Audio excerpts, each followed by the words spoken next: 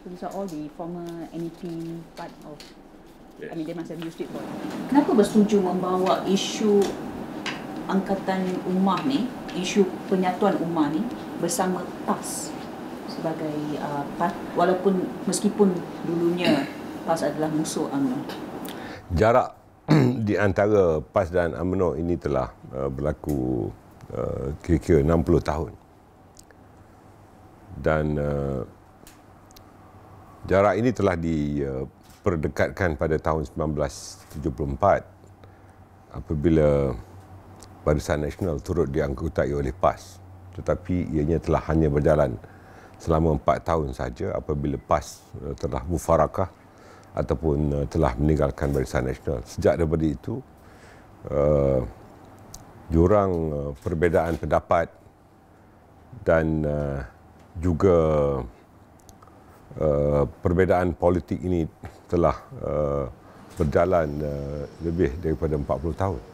Maka tiada langkah-langkah politik yang telah dilakukan untuk merapatkan jarak dan dan jurang perbezaan politik ini dan uh, di akar umbi uh, terdapat uh, perpecahan di kalangan orang-orang Islam dan orang Melayu kerana perbezaan pendapat uh, antara UMNO dan PAS. Secara peribadi saya telah mengambil langkah untuk merapatkan jurang ini pada tahun 1998 ketika itu uh, uh, Allahyarham Profesor Datuk Dr. Harun Din menjadi ketua penerangan PAS di mana secara peribadi beliau telah mengeluarkan amanat untuk beliau uh, bercita-cita untuk mengembalikan penyatuan uh, pemikiran antara uh, UMNO dan PAS. Dan uh, ketika itu beliau tidak menyarankan agar sama ada UMNO atau PAS terbubar tetapi ada mekanisme yang dicadangkan agar percantuman, percantuman uh, pemikiran ini uh, dapat dilakukan. Ini satu proses yang panjang. Hinggalah uh, pada 4 Disember 2016 apabila buat pertama kali secara resmi pemimpin kedua-dua parti UMNO dan PAS berada di atas pentas yang sama. Ketika perjuangan untuk membela nasib rakyat Rohingya yang telah terhalau daripada Myanmar dan berada di uh, Cox Bazar dan juga di Kutupalung di Bangladesh.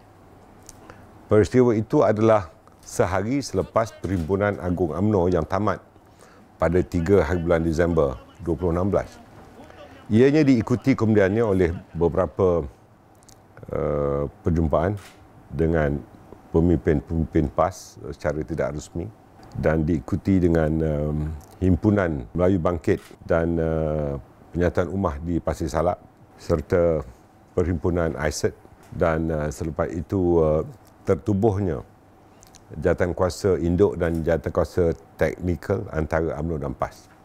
Kenapa kita lakukan uh, penyataan ummah ini kerana agendanya adalah agenda untuk melihat Malaysia ini kembali uh, ke arah uh, pembentukan sebuah uh, negara uh, pelbagai kaum, pelbagai agama uh, namun uh, asas-asas uh, Islam dan uh, kemelayuan menjadi tapak untuk kita bergerak kerana selepas PRU ke-14 uh, kedua-dua parti merasakan bahawa rakyat telah dihanyutkan dengan janji-janji dalam manifesto yang kebanyakannya telah tercampak ke laut dan tidak dilaksanakan. Ada yang menyatakan bahawa UMNO dan PAS ni bekerjasama sekarang untuk kepentingan politik mereka sendiri dan mempergunakan perkataan ummah tu. Apa pendapat itu? Saya saya uh, menghormati uh, pengalaman panjang PAS uh, sebagai sebuah parti pemangkang.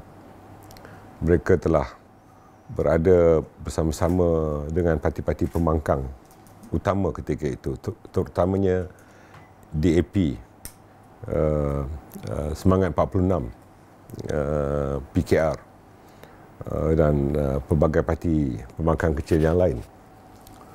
Tetapi suatu hakikat yang tidak dapat diterima oleh mereka ialah apabila DAP yang jelas uh, berkonsepkan uh, Malaysian Malaysia yang secara halus uh, apabila menang dalam PRU ke-14 telah uh, menggunakan semua strategi dan pendekatan taktikal untuk mengenepikan perkara-perkara yang termaktub di dalam perlembagaan maka atas landasan itu UMNO dan PAS memikirkan bahawa jika kepedulian terhadap permasalahan ini tidak diambil kira oleh kedua-dua parti maka uh, perkara-perkara yang termaktub dalam perlembagaan itu akan hanyut uh, tanpa pembelaan. Sedangkan ianya bukan hanya berdasarkan kepada kontrak sosial yang telah uh, dimaktubkan di dalam perlembagaan tetapi uh, ini tentunya dikhawatiri akan uh, menjadikan uh, negara uh, kita yang selama ini menghormati kepelbagian agama Uh, kaum bahasa dan budaya akan menjadi suatu negara yang seolah-olah tidak ada keindukannya dan ini amat mengkhawatirkan kedua-dua kepimpinan parti. Okey, uh, Datuk Sri, Datuk Sri sering mengatakan bahawa ini adalah satu political cooperation dan bukan satu political coalition. Um, Okey, apa bezanya cooperation dengan coalition di sini? Apa yang di persetujukan buat sementara ini adalah kerjasama politik. Itu yang dipanggil sebagai uh, ta'awun. Tetapi uh, jika ada uh, kolaborasi atau political collaboration nanti untuk menghadapi pilihan raya, ianya adalah merupakan satu lagi tahap yang uh, akan uh, diperincikan oleh kepimpinan kedua-dua belah parti. Dan ini tentunya mengambil kira uh, kepelbagaian kaum dan agama di negara kita. Dan tentunya ianya akan turut melibatkan parti-parti politik di Sarawak dan Sabah apabila suatu uh, kolaborasi uh, parti politik uh, diadakan untuk uh, menterjemahkan apa yang terkandung di dalam piagam yang akan kita tanda tangani pada 14 hari bulan September nanti. So sekarang daripada uh, cooperation kepada collaboration dan apakah kemungkinan ada coalition dengan satu logo? Kita tidak akan menolak uh, jika adanya uh, usaha ke arah uh, pembentukan uh, coalition itu. Dan uh, pada hemat saya negara ini tidak dapat mengelakkan daripada acuan kepada two party system.